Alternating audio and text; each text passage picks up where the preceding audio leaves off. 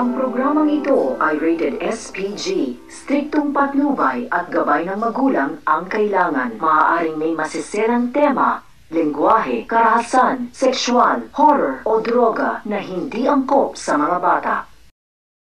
Nang bahagya namang magising ang dalaga, ay agad niya nga nakita itong si Rika. Tanong niya dito, ano daw ang ginagawa doon ni Rika? At bakit suot-suot nga raw nito ang kanyang damit? Paliwanag ng dalaga, si Mayor Troy nga raw ang nagsabi na marami daw damit doon si Raven, kaya naman pinahiram nga raw ito sa kanya. Muling nagtanong si Raven kung ano nga raw bang ginagawa niya doon. Di ba't magkaaway nga raw sila?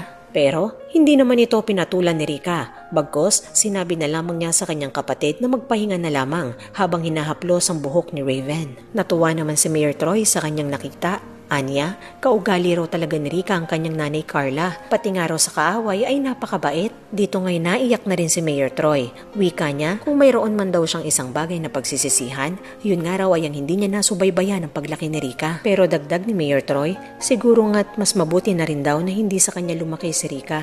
Tugon ni Rika, maaayos nga rin daw ang lahat. Tulad nga rin daw ng ginagawa ni Rika ang pagsubok upang maayos ang lahat-lahat. Samantala, bigla namang naudlot ang kanilang usapan nang biglang tawagan ni Audrey ang kanyang mister na si Mayor Troy. Sinabi niya dito na uuwi na nga raw sila sa kanilang tahanan, ngunit pinapatawag ni Mayor Troy si Dr. Bautista. Anya, mabuti na lamang daw at nalasing lang itong si Raven, pero kailangan nga din daw nilang siguraduhin na hindi siya nagkaroon ng alcohol poisoning. Habang nakikipag-usap naman itong si Audrey, patuloy naman ang pagkalkal ni Jig sa mga gamit ni Raven sa loob ng kanyang kwarto. Nakakita nga ito ng mga larawan o drawing niya na tila maiitim ang mata at ganoon nga rin ang isang bote ng alak. Dahil dito ay napagtanto nilang dalawa na muli na namang nalululong sa bisyo itong si Raven. Sa kabilang dako, habang pinapatayo ni Rika ang kanyang tali, ay napapaisip naman siya kung gaano kabigat ang pinagdadaanan ngayon ni Raven. Muling nanumbalik sa kanyang alaala ang kanilang mga sagutan at ang tunay na dahilan ng kanyang pangungulila.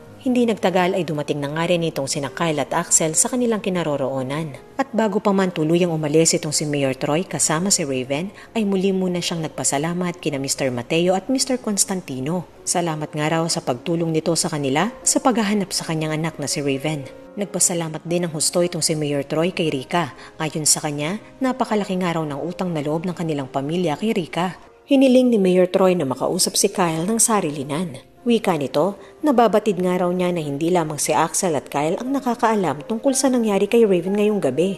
Sana nga raw ay hindi na ito makarating pa sa ibang tao. Tugon ni Kyle, hindi na nga raw ito dapat pa inaalala ni Mayor Troy sapagkat mapagkakatiwalaan naman daw ang kanyang team kaya wala nga raw itong dapat pang problemahin. Wika ni Mayor Troy, it's no big deal kaya papupuntahin na lamang daw niyang ilan sa kanyang mga tauhan kinabukasan upang papirmahin nga daw sila ng isang disclosure agreement. Huwag nga raw silang magalala sapagkat magbibigay rin daw siya ng financial compensation.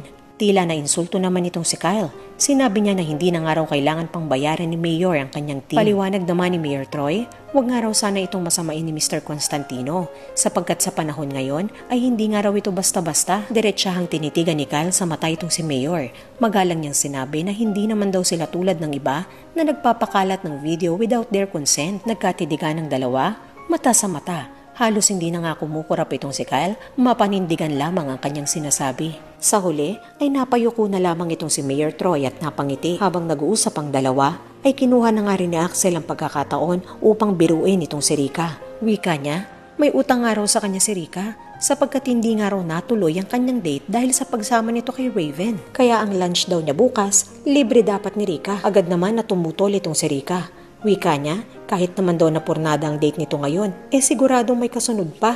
Hindi naman mapigilan ni Axel na matawa. Sa pag-alis ni Mayor Troy ay nagbigay na nga ng tagi-isang burger itong si Axel sa kanilang tatlo. Sa pagbukas ni Kyle sa naturang pagkain ay pabirong sinabi ni Kyle na mukhang marami ng araw itong napagdaanan. Wika tuloy ni Axel, mukhang gutom na gutom ng araw ang kanyang kaibigan sapagkat nakukuha ng araw nitong bumanat napangiti naman itong si Rika.